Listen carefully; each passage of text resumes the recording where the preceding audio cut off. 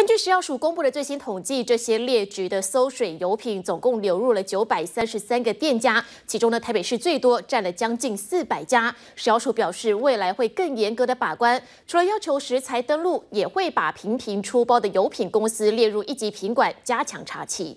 强冠劣质猪油流窜全台，不少知名大厂纷纷中标。七号上午，食药署再度公布稽查到的下游名单，全台总共有九百三十三家使用，其中以台北市最多，高达三百九十七家。再来则是屏东，也有一百零六家。有食品加工，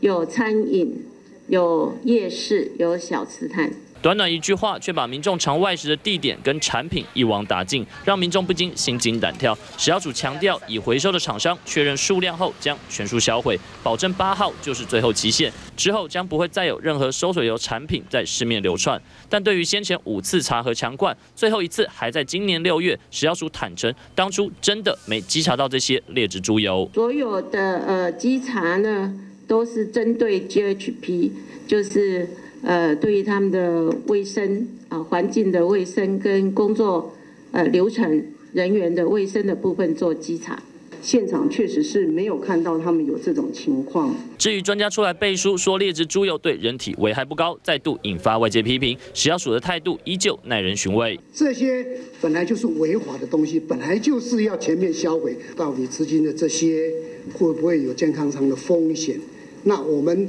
这些检验结果是要来处理这一部分，